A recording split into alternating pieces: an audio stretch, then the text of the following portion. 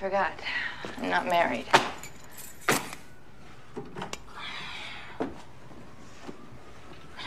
Hello out there! Does anybody want a wife? I'm single! I ain't got no kids! I could cook, kinda. Your mama gonna love me!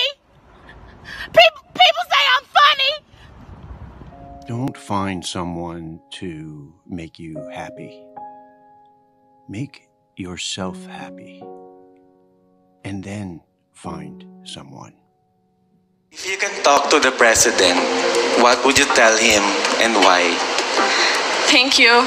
If I would have the great chance to talk to the president, I would tell him that I am not knowledgeable enough, as knowledgeable as him. But what I can, what the knowledge I can tell him is that whatever he does, he should offer everything to God, because whatever the problems we are facing, if we offer it to God, nothing can go wrong. He is the answer. He is the way. He is the life. Thank you so much. My girlfriends always ask me why I never save a guy's number in my phone. Pretty simple. You don't name a puppy unless you decide to keep it. Hello, everybody. As you may or may not know, I am still looking for husband, and I have been dating on dating apps, and I realize a lot of men like to write good vibes only. What is the reason for only wanting good vibes? Do you want to date a robot? Do you not realize that women have angry vibes, or sad vibes, or hungry vibes? If you want somebody who doesn't have emotion, then please take a picture of me and date my poster. Rich people don't sleep eight hours a day. That's a third of your life. It ain't but 24 hours in a day. You cannot be sleep eight hours a day. You can't live in LA and wake up at 8 o'clock in the morning.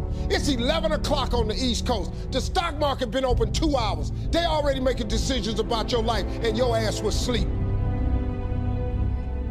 The Bible says, He who loves to sleep and the folding of hands, poverty will set upon you like a thief in the night.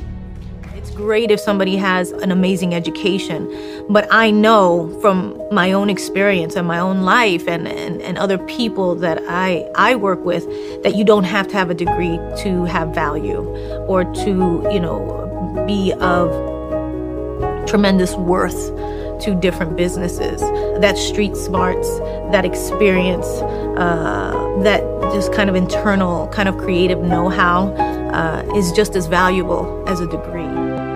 I wanna be where the people are. I wanna see, wanna see them dancing, walking around on those, what do you call them? Oh, feet.